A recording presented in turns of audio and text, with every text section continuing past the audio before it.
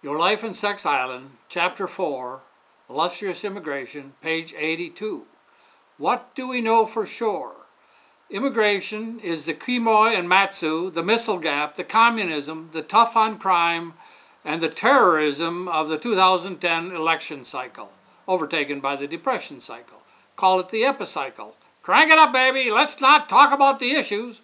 Let's talk about this old, old cinder dating back at least to 1894 when George Pullman, owner of the Pullman Palace Car Company, imported Mexicans to break the Pullman strike. This cold cinder, which we will rediscover whenever we need a red herring. Step right up, folks. Extra, extra. Read all about it. Mexicans are invading our country rather than starve to death. We used to call them wetbacks, but that is no longer politically correct. Now they are illegal aliens, something like E.T., ALF, Jabba the Hutt, Predator, but not quite so nice or from so far away, and they don't speak English as well as Chewbacca.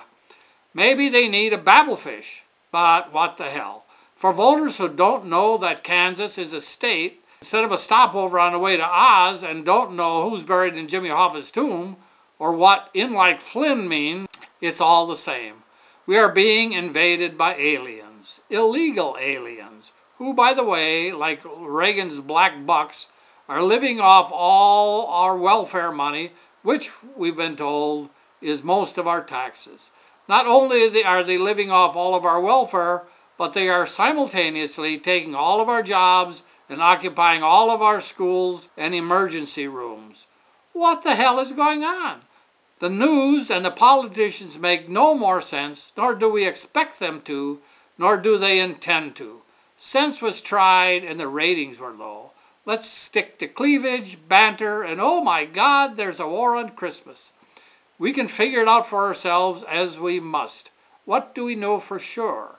Who benefits? Follow the money. Obviously, the immigrants benefit. They send back home about 20 billion per year about $2,000 each. They are here by the millions, we are repeatedly told, between 7 and 20 million, estimate about 12 million, increasing the U.S. labor force by about 10%. If they did not benefit, they would go, get back home in a minute and flow of immigrants crossing the border would stop pronto. So we know for sure that it is better to wash dishes or cut lawns in the United States and live five to an apartment than it is to not work in Mexico and other points south, Guatemala, Belize, Honduras, El Salvador, Nicaragua, Costa Rica, and Panama. Wow, how did things get so bad down there? And what would it take to fix them? Who else benefits? Obviously, the people who hire immigrants at substandard wages benefit. Often, though not always, these are small building, road, and roofing contractors, mom and pop restaurants, and landscapers although large firms knowingly hire them through contractors. What else do we know for sure? If it were only the immigrants and small business owners who benefited from the influx of illegal immigrants, the flow would have been stopped permanently in the 19th century. No politician gives a shit about illegal immigrants or small businesses. How do I know that for sure? I live it every day. We are nothing but a vein for the tax Dracula. When they drive one sucker to go bust, they just say, next, next sucker, who's next? Step right up, bare your throat. Nope. Many big guys benefits, for sure. How?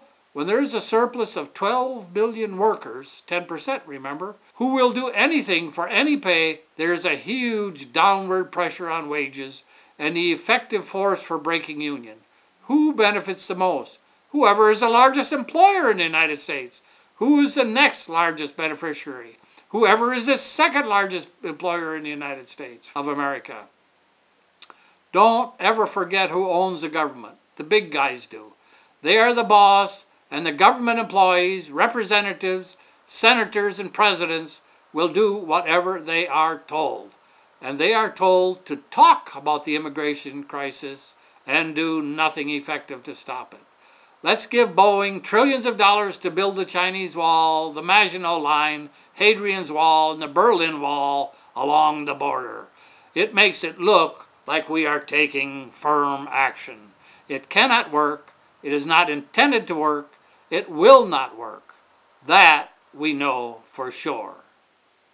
Purchase the book now by clicking on the link in the description below.